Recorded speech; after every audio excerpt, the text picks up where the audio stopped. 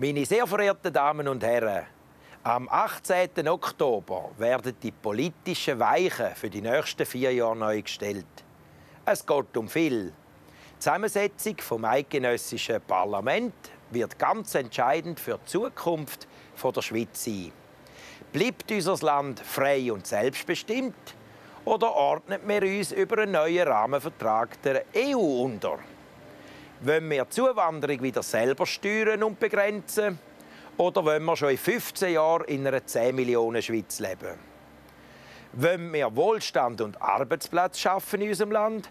Oder die Verwaltung, die staatliche Bevormundung und die Bürokratie ausbauen? Ich glaube, die Antwort ist klar. Also was bringt es Ihnen? Was, geschätzte Wählerinnen und Wähler, bringt es der Schweiz, wenn am 18. Oktober die SVP gestärkt wird. Als Bürgerinnen und Bürger eine lebenswerte und intakte Schweiz.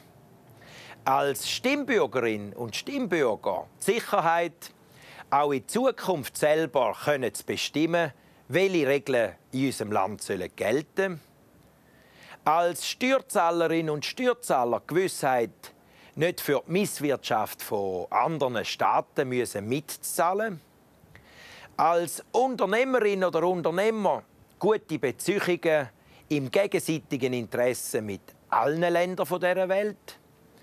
Als Angestellte bringt es mir weniger Lohndruck und weniger Verdrängung auf dem Arbeitsmarkt durch junge, billige Zuwanderer.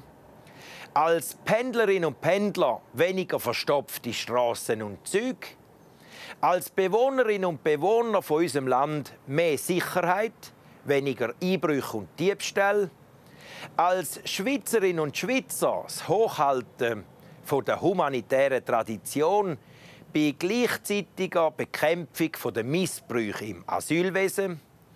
Als Gewaltopfer Gewissheit, dass Täter aus dem Verkehr gezogen werden und kriminelle Ausländer konsequent ausgeschafft werden. Als Richter und Polizist griffige Rechtsgrundlagen, um bei Verbrechen auch wirklich hart durchgreifen zu können. Als Gewerbler weniger Bürokratie und Papierkram. Und als Bauer bringt es mir mehr Freiheit und flexibles Raumplanungsrecht. Sie haben es selber in der Hand.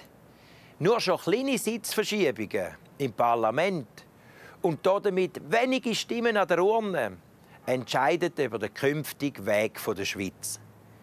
Gelingt es jedem von uns bis am 18. Oktober, alle Familienmitglieder, Freunde, Arbeits- und Vereinskollegen zur Teilnahme an der Wahl zu bewegen, dann können wir gemeinsam dafür sorgen, dass uns unser einzigartiges Land erhalten bleibt.